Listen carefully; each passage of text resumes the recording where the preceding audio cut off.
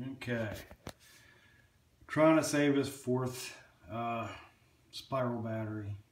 That's the yellow top spiral. It's been doing like 11.4 while it was charging while the sun was out. It was like 12.4. Now I got 11.9. We got the sulfator, desulfator on it. And then Infinitum. It saved these three. But these three wasn't as low as this one. So I'm going to try this for about a week and see what happens. Uh, I guess keep tuned in. And then that one's my gonna be my last project. It's like, oh shoot, it's down to like four volts, if that.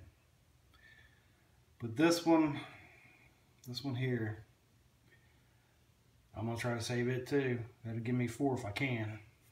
So, oh well, keep tuned in, guys. See ya. You barely see the green light, but it's on. 11.9 just popped up to 12 a second ago. I guess the sun's behind the clouds. So, like I said, keep keep in touch, guys. So there's the one panel on that one AGM battery. I'm gonna do it for about a week. There's what kind of weather we got. Mostly cloudy, it looks like. A little bit of sun there. Good note the main system's doing great. Here in a week or two, hopefully I'll get her switched over to 24.